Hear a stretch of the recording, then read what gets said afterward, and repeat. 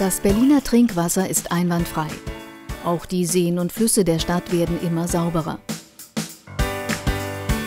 Damit das auch so bleibt, entwickeln die Berliner Wasserbetriebe ihre technischen und ökologischen Verfahren ständig weiter. Denn unsere Umwelt, Gesellschaft und gesetzlichen Vorgaben ändern sich stetig. So landen zum Beispiel immer mehr Stoffe im Abfluss, die dort nicht hineingehören – Reste von Medikamenten, Reinigungsmitteln und anderen Substanzen bleiben trotz intensiver Reinigung teilweise im Wasser zurück. In der Oberflächenwasseraufbereitungsanlage Tegel erforschen die Experten der Berliner Wasserbetriebe gemeinsam mit Universitäten und Behörden, wie sich auch geringste Rückstände von Spurenstoffen und Mikroorganismen nachweisen und herausfiltern lassen. Das sichert die hohe Trinkwasserqualität auch in Zukunft. Ebenso wird die Reinigung des Abwassers immer weiter optimiert.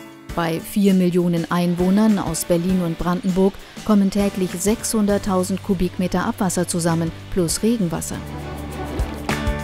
Obwohl die Grenzwerte für Schadstoffe in den Berliner Klärwerken unterschritten werden, finden sich mitunter Spurenstoffe im Wasser, die nicht biologisch abbaubar sind. Die Berliner Wasserbetriebe wollen mehr und mehr dieser Spurenstoffe entfernen. Deshalb wird im Klärwerk Münchehofe erforscht, mit welcher Technik sich die Filterleistung weiter steigern lässt. Je sauberer das Abwasser, desto besser für Mensch und Natur und es riecht auch besser.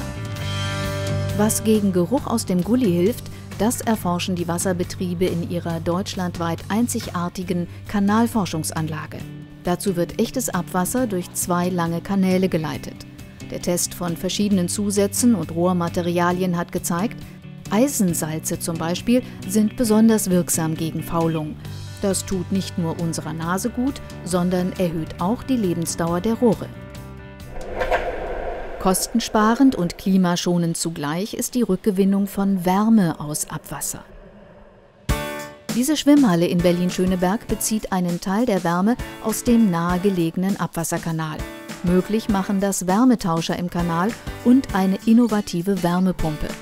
Sie leitet die Wärme weiter zur Fußbodenheizung, den Duschen und ins Schwimmbecken.